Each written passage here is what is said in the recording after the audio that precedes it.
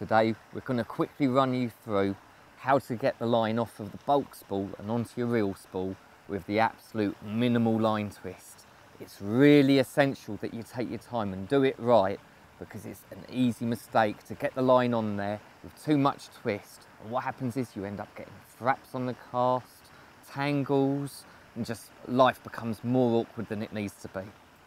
This advice applies for GT80 Plus, Pro, Hydro Tuff, and GT80.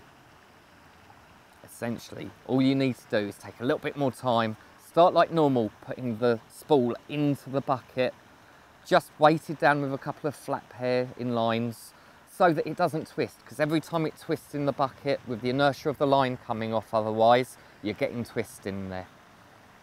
Once it's in there, you reel it onto your reel spool through your fingertips, applying a nice steady pressure, but after about 100 yards, just stop and assess whether or not the line looks particularly twisty for running from your rod tip down into the bucket.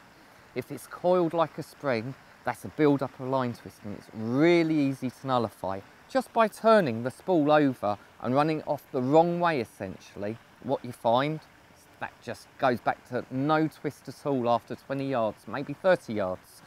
You check again, turn the spool back over, weighing it down again so that the line's coming off anti-clockwise again and start.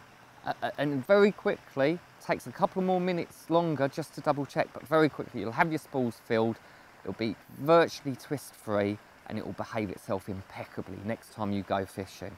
And you don't want to ruin this stuff the first time that you go out just because it's got loads of twist in it. Go out, do it right, take your time, and you'll get the best performance whatever line you use.